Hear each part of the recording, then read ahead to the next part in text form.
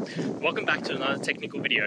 Today I'll be going through your question, answering it, and hopefully finding that solution that you're looking for. Guys, remember stay just a little bit crazy like me, and hopefully you work through that resolution. Let's continue on.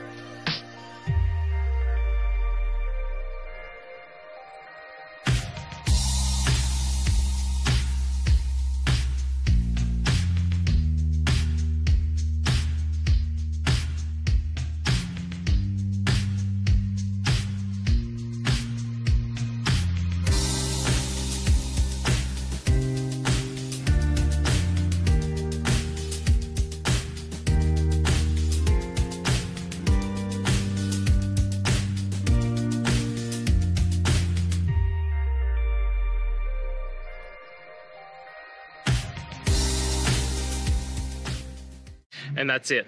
I hope this video has helped you get through to that resolution that you're looking for. If it did, please hit subscribe. And until next time you need technical help, I hope you have a good one. Cheers.